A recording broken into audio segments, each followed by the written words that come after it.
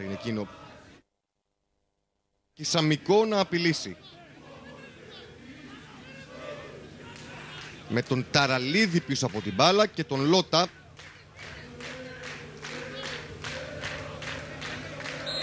Ένα 25 ποδοσφαιριστών για την ε, ΑΕΛ έχει στήσει ο Ξενοδόχοφ. Ο Ταραλίδης εκτελεί. Η μπάλα στο οριζόντιο δοκάρι. Δεν έχει τελειώσει η φάση. Νέο σουτ. Βγάζουν τώρα οι αμυντικοί της ΑΕΛ. Του Καπού.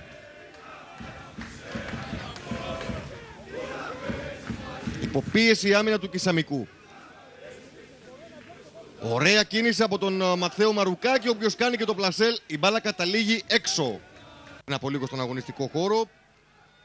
Θέλει να πατήσει περιοχή, παίρνει το φάουλ. Ένα μαρκάρισμα από τον Μπόρισλαβ Γιωβάνοβιτς.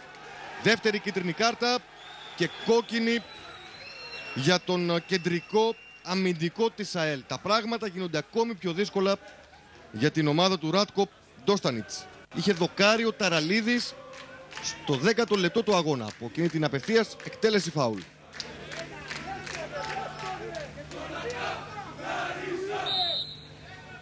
Το φάουλ για τον Κισαμικό, η μπάλα στα δίχτυα. 2-0. Και δείτε πώς το πανηγυρίζει ο σκόρερ του αγώνα, ο σκόρερ του γκολ, ο Γιάννης Ταραλίδης. Είχε δοκάρει στο 10ο λεπτό από απευθείας χτύπημα φάουλ. Το δεύτερο που εκτελεί δεν αστοχεί. Στέλνει την μπάλα στα δίθια και γράφει το Κισαμικός ΑΕΛ 2-0. Εδώ και πάλι η εκτέλεση από τον Γιάννη Ταραλίδη.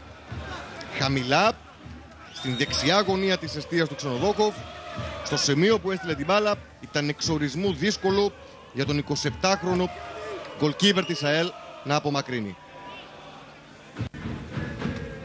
Η ΑΕΛ επιμένει. Η σέντρα από τον Νικολακάκη χαμηλά.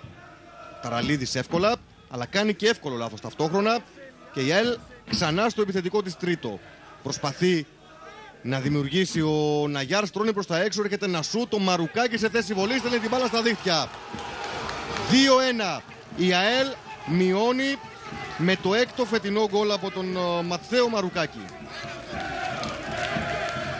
Με δύο αναγκαστικές αλλαγές, με αριθμητικό μειονέκτημα λόγω της αποβολής του Γιωβάνοβιτς, αλλά η ΑΕΛ είναι εδώ. Δείτε και πάλι πως η μπάλα φτάνει στον uh, Ματθαίο Μαρουκάκη και πως εκείνος νικά τον uh, Λαζαρίδη στέλνοντας την μπάλα να αναπαυτεί στα δίκτυα της αιστείας του.